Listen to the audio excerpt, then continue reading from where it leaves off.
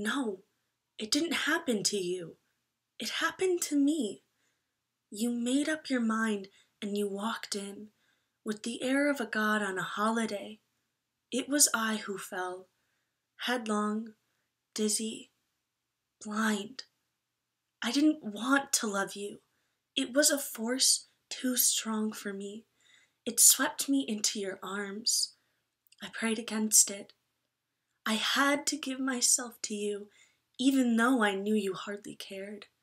I had to, for my heart was no longer in my own breast. It was in your hands to do what you liked with. You could have thrown it into the dust. It pleased you not to. You put it in your pocket. But don't you realize what it is to feel that another person has absolute power over you? No, for you have never felt that way.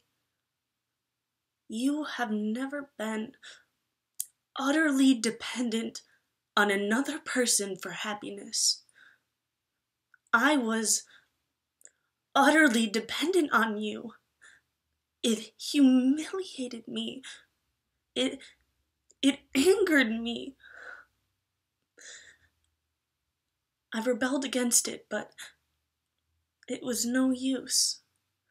You see, my dear, I was in love with you. And you were free. And your heart was your own. And nobody could hurt you.